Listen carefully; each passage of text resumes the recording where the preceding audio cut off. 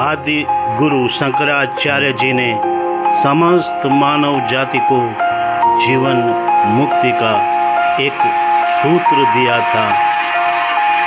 दुर्जना सज्जनो भूयात, सज्जना शांति मापनुयात, शांतो मुचेत बद्धेम्यो मुक्ता चान्यान विमोचेत।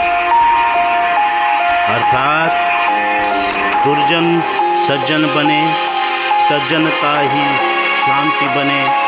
शांत जन बंधनों से मुक्त हों और मुक्त अन्य जनों को मुक्त करे।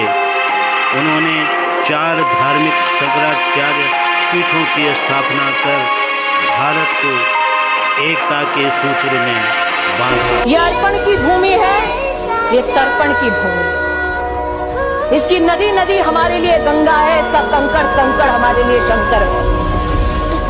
हम जिएँगे तो इस भारत के लिए और मरेंगे तो इस भारत के लिए। और मरने के बाद भी गंगा जल में बहती हुई हमारी अस्थियों को कोई कान लगाकर सुनेगा तो एक ही आवाज़ आएगी, भारत माता की। भारत माता की जय। भारत माता की जय। भारत माता की जय।